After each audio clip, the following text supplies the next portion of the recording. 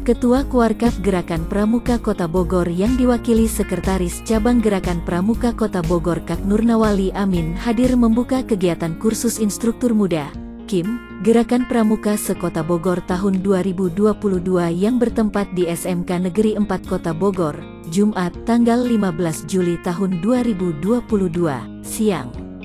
Tema kegiatan KIM tahun 2022 ini adalah melalui KIM PMNH 2021 kita tingkatkan kualitas diri untuk mewujudkan satya dan dharma pramuka dalam kehidupan bermasyarakat. Kegiatan yang diikuti oleh 54 peserta dari kuartir ranting sekota Bogor, unit pramuka peduli, unit protokol dan satuan karya sekota Bogor.